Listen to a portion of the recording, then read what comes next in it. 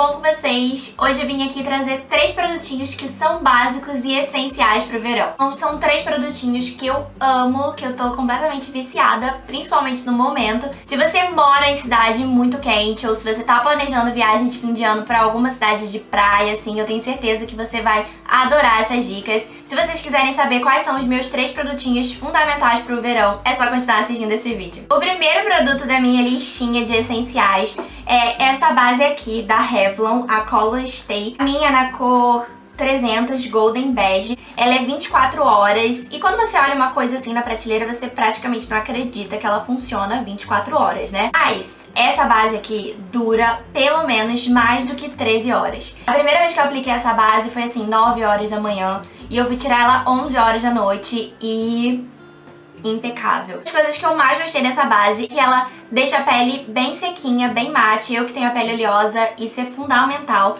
principalmente no verão. Essa base não tem a cobertura alta, ela tem uma cobertura média pra alta. Mas se você quiser uma cobertura um pouquinho maior, é legal você ter um pincel bem fofinho, com as cerdas bem juntas. Isso dá uma maior cobertura pra base. Eu sinto que fica muito melhor quando eu aplico assim do que, por exemplo, aplicar com o dedo. O segundo produto é muito essencial porque eu tenho a pele oleosa e a raiz do cabelo oleosa também. Isso é horrível, principalmente no verão, porque parece que você acabou de lavar o cabelo e ele já tá todo escorrido. E uma das coisas que mais me salvam é o shampoo a seco. Esse aqui é da Lee Stafford, eu acho que é assim que se fala. Ele não é aquele shampoo a seco que deixa sua raiz pesada. Ele some em questões, assim, de segundos. E o cheirinho dele é, assim, maravilhoso. Eu gosto muito de aplicar ele no dia seguinte que eu lavei o meu cabelo, que normalmente já tá mais oleoso.